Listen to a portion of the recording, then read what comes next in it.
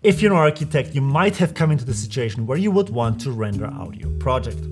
So you got geometry, you got lights, you got textures, you place your camera, you hit render. And it just doesn't look great. In fact, it doesn't look great at all. And that, my friends, might be due to several reasons. Boring perspectives, wrong lighting, missing context, lack of ideas, who knows what. That happened to me all the time until I started to apply a few basic habits and tricks before and during rendering that helped me to come up with more interesting and simply better looking images.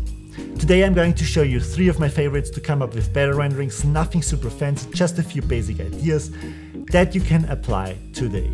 I would say let's just get started.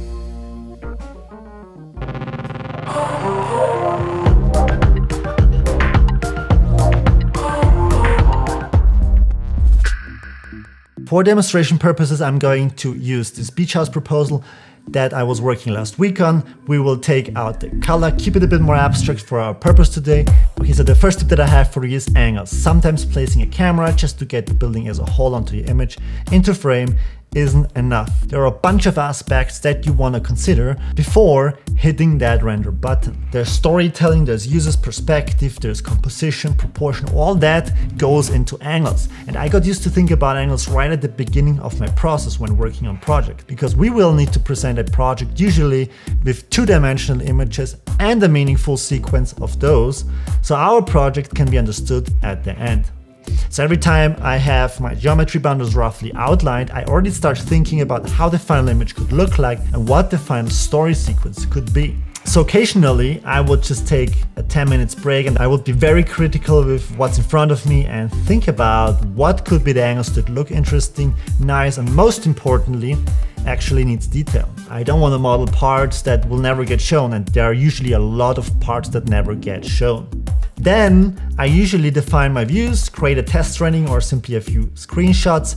I would often just create every day a screenshot of my project so I have kind of a log of my views. That's a process that also keeps me on track with my project and I can nicely follow up on the progress later on. With that routine, my render perspectives really also improve framing over time because I'm constantly changing and improving my angles right from the beginning. So once I go into render production, I'm sure I'm happy with my perspectives and I don't have to change them later, wasting time when there's usually not much time left. When I'm not sure how it's gonna turn out, I would take those screenshots, I would open them in Photoshop and I would start sketching over them and see how those renderings actually could unfold. I paint in the trees, the people, the props, all the stuff which is relevant for the project to be placed into context. Super useful, quick and easy, definitely helps me every time to speed up my development of my projects. Second tip that I have for you is to switch from horizontal or landscape format to vertical or also called portrait format. So this can be useful for either setting a vertical structure like a tall building or an atrium into frame or simply helps to find a fresh perspective onto the project overall. Often it can be quite surprising how a project can be viewed in a completely different way just by switching the format of an image. So in this example you can see there's nothing too interesting about this image having it in landscape format. So now watch this, just by flipping over from horizontal to portrait, it got way more interesting within a second. You can see more of the foreground, which kind of grounds the image because you have a nice gradient from a dark bottom transitioning to a very light top. And it also lets you focus on a completely different aspect of the building. While in the landscape version it's probably better to stage a social event like a family gathering. The portrait image suits me better to stage a scene where, for example, this woman is reading a book on a relaxed afternoon, right? So very different emotions and moods you can deliver just by switching the orientation of your image. One thing to be careful about is that the presentation of your project might completely change in terms of layout and feel that you're aiming for. Also, if I do vertical renderings, I like to do at least two, so my presentation looks a bit more intentional and cohesive. But if you get that right, your projects can really shine with that simple hack. Before we keep going, if this has been useful or interesting so far, don't forget to subscribe, that would really help me to grow my channel and make more videos like this. Okay, let's keep going. So the third tip that I have for you is to shoot through something. Again, that goes back to angles. You, you don't always want to show everything of your building in every image. Especially if you're trying to create some sort of story sequence for your images, you can create a bit of tension, excitement and emotion if you don't give your design away in every image. So just instead of placing your camera in a way so everything of your building or your space can be seen without any visual occlusions, try to give it a little bit more oomph by shooting through something. So take your camera, back up a little bit and try to place it behind a tree as crop a person, you will see it immediately becomes more interesting and it helps you with the right props to put it in context and tell the story even better. I like to use some highly realistic scrubs or trees or simply a person in 3D that fits contextually into the scene.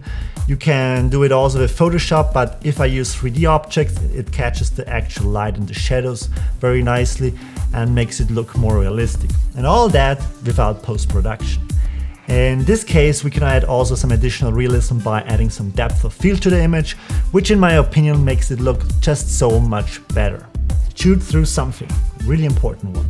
Okay, I got one more bonus which I think is not just important for renderings but also for any kind of creative process in general and it's think opposite. So I think there are so many ways to get stuck in creative processes and also other aspects of life. So, so sometimes to get going and keep progressing it helps to think opposite. What I mean with that is sometimes I try to think what would absolutely make no sense at all or what's the most crazy I can do with this project. In terms of rendering, that means what are the weirdest perspectives or probably not even pretty perspectives or, or perspectives no one would actually understand and I would try to get those, which sometimes just turns on the light bulb and helps me to, to come up with things that I wouldn't otherwise with playing it safe. So sometimes just think opposite in order to find something unexpected, something that is not super apparent, something you need to search for or simply stumble upon. If we go back specifically to the topic of rendering, from 100 possible perspectives, you might have 99 bad ones and only one great one. It's about finding this one great perspective. That's it guys. Don't forget to hit like and subscribe if that was interesting or useful to you. These are my four principles that I can give you for better renderings. However, you can also apply them to photography, which is in many ways no different. There are tons of other principles out there which we could talk about and are important for better images, but I truly believe it's better to just focus on certain new information, try to master it and move on to the next lesson. But anyway, I would be very interested what are your tips for better images? Let me know in the comments. In that sense, I wish you the best and see you next time here at my channel where we talk about architecture and design. See you next time.